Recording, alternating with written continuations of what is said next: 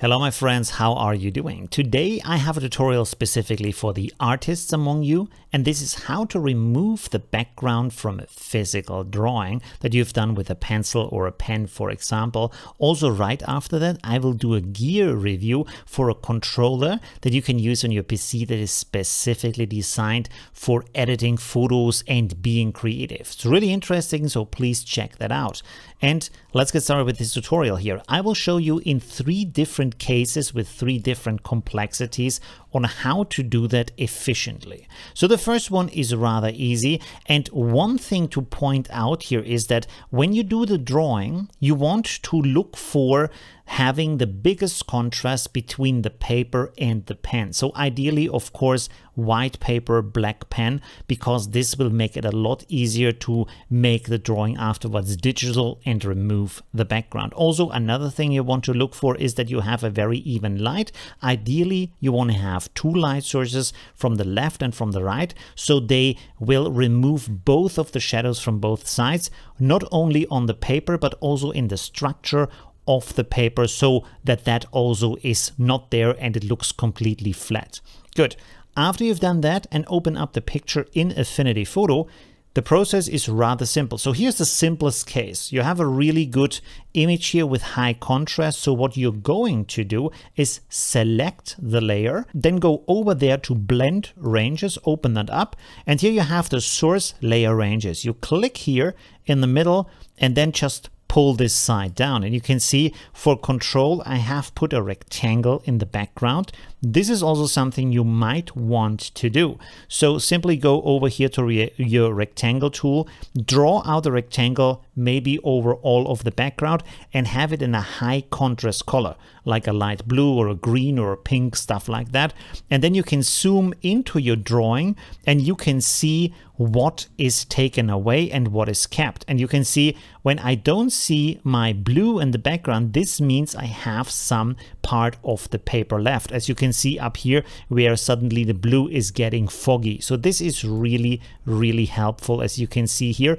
Also, you can move over this side to also eliminate the brighter parts of the paper completely. So to clean it up, be a little bit careful that you don't remove too much. This brings us already to our next example here. And as you can see, this is a little bit more complex because we have a lot more grace in here. So again, select your layer, go to your blend ranges, create that point here and move the other point down. So now at this point, you want to zoom in here and you want to decide for yourself which of these are actually part of the drawing, which of them are part of the paper, and what do you want to remove.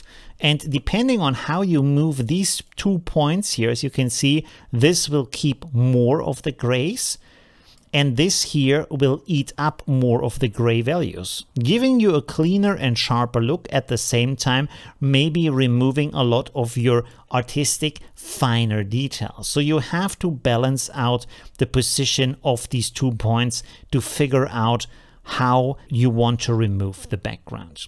Now let's go on to our third case and here we have a color picture. Now this might be tricky because colors have different brightnesses as you can see here. For example, a yellow is brighter than a red or an orange. So when you have that kind of problem, what you can do is that you create an adjustment over here for black and white.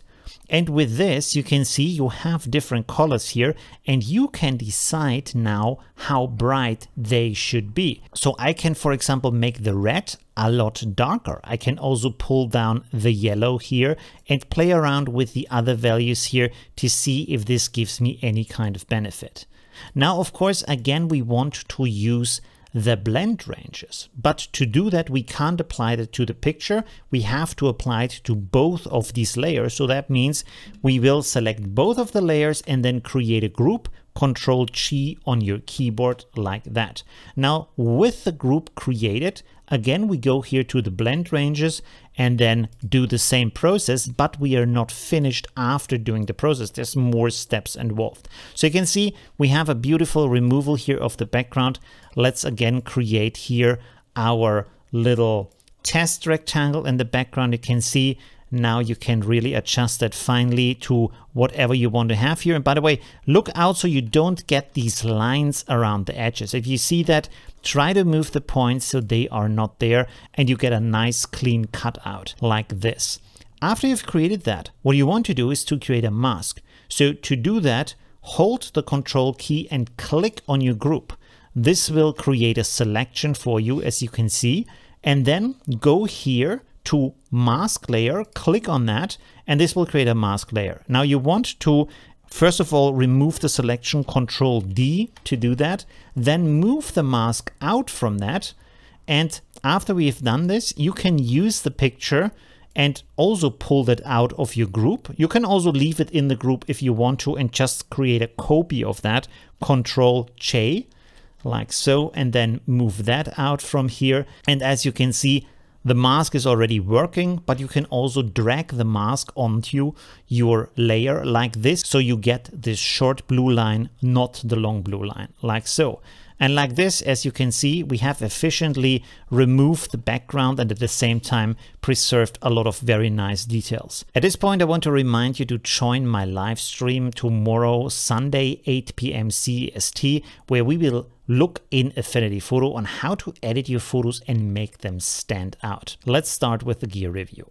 Today I want to review a genius little device that is called the Tourbox and that is this little thing here.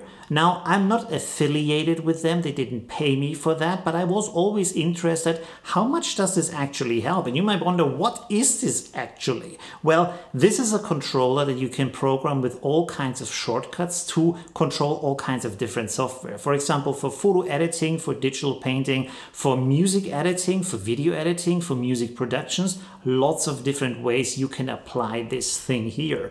But why would you use that if you have a keyboard in the mouse and all of that worked so great all of these years? Well, the thing is, as you know, shortcuts can be very cumbersome. Sometimes you need both of your hands and also for some of them, you need to press them and adjust the thing, for example, the tool you want to work with, and then you can use the tool. Here you can, for example, adjust the brush size while you're painting, which means you can have a very dynamic stroke and this will allow you to go into new ways of creativity. So this can actually enhance what you can do with your software, but also it will keep you in the flow of creating rather than trying to search what is the right shortcut. Now here's another thing that I really like about this design. If you look at this device, you can see that all of the buttons are designed completely differently from how they feel and how they look. Now that's a huge benefit. And the reason for that is because you can use that without having to look at the device. You can feel blindly what is going on. That is very, very good because you want to stay in the flow and not look at the device to figure out what you're doing. So blind usage is very important for the artistic flow of juices. Another thing is that this has a soft rubber surface, so it is nice to the touch. It has a good weight, which means it does not float around on your screen. This is actually staying in place also because of the four rubber feet and it has a sturdy build quality so you can take this with you on journeys for example if you like to edit your photos while you're on a trip while you go out with your laptop you want to adjust your photos you can do that and bring this with you. So this is really good. Also for example maybe for uh, working on the go or travel vlogging lots of different reasons why you want to use that. Another thing that is very important here is, for example, if you have a pen display, like for example a Wacom display, a Huion display, all these kind of things, usually they will use up your desk, so where you usually have your keyboard and your mouse. With this, you just have it next to your display, you don't even need a keyboard at that point or a mouse because you can just use your pen to adjust your images, to do a digital painting, and then to all of the things at the same time with these buttons. So for example, what you can do here is you can use this mouse wheel for zooming. You can use this bigger dial here for rotating the canvas and you can use this one here for adjusting the size of your brush. And then these other buttons, for example, for switching in between different tools or for going back a step if you want to, creating a new layer. Anything that can be done with a shortcut can be programmed into this thing. And by programming, I don't mean coding, I mean you go into the software that's included with this device and just set up the shortcuts that you want to use with the software. And also a good benefit of this tool is it recognizes when you change between different software tools so that you always have the shortcut that are required by that software. So if you, for example, switch in between Affinity Photo and Affinity Publisher, this will recognize that and switch the shortcuts over for what you have programmed in these different software applications to be used. So that's pretty awesome.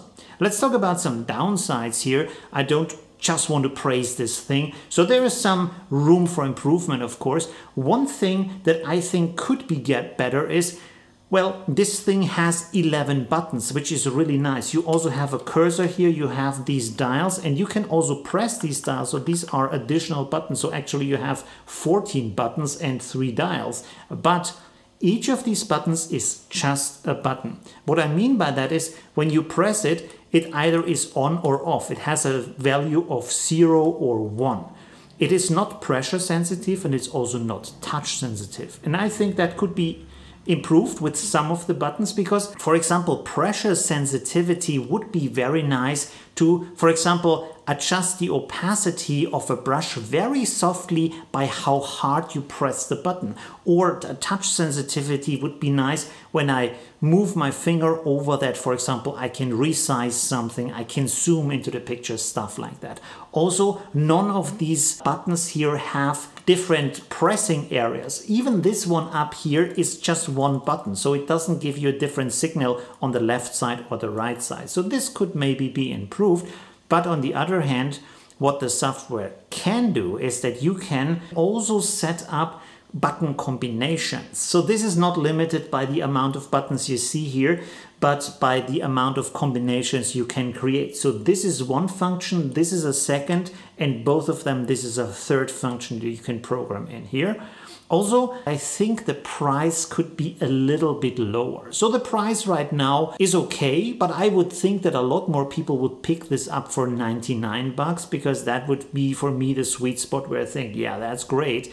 On the other hand, if you think about it, this is a very sturdy built device with a lot of functionality. And if you think about all the nerve you're saving, all the time you're saving, and how much you keep in the workflow, and you know for artists how important it is to stay in the workflow and create when you have the inspiration, when you have the idea, this might well be worth the money because I think this will stay with you for many years and enhance your productivity by a lot. So all in all, I would say this is something I would suggest you might want to buy if you're interested in that. I will keep using it, of course, because I already have it. So thanks for watching my review and see you in my next video. Bye!